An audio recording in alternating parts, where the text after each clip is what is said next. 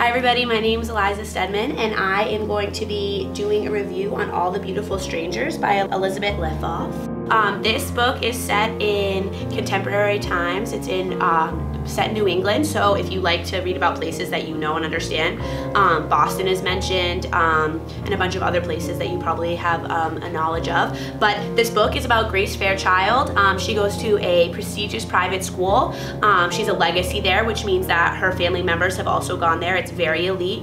Um, the story centers around her acceptance into a very secretive, very cult-like fraternity type club that the school um, calls the A's that you have to be enlisted by by other upperclassmen. Um, throughout her journey or her initiation process into the A's, she starts to kind of uncover secrets and mysteries surrounding her family. Um, you find out that her mother has gone missing and it's something that she does not talk about, but her mysterious disappearance is something that the family doesn't know much about.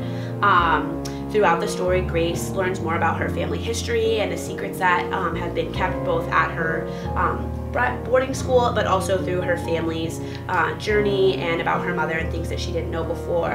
Um, the story is really relatable. A lot of the characters um, might be people that you would find in your everyday life. They um, experience things like heartbreak and mistrust and success and failures. Um, Grace goes through a lot of uh, challenging times in her life that make her really relatable to the reader.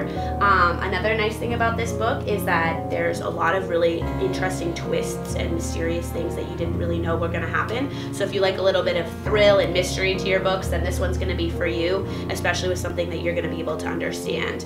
Um, another thing to note about this book is it's told through multiple perspectives or multiple POVs. So you hear Grace is the primary narrator, she primarily tells the story, but you hear bits and pieces and flashbacks from uh, other people in her life, her mother, um, from back when she was a young girl, her father when he was in school at her private school. So you kind of get a really well crafted um, point of view or situation from all the characters.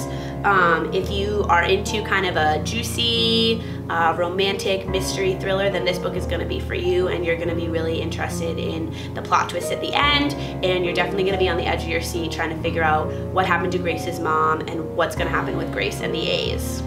Happy reading.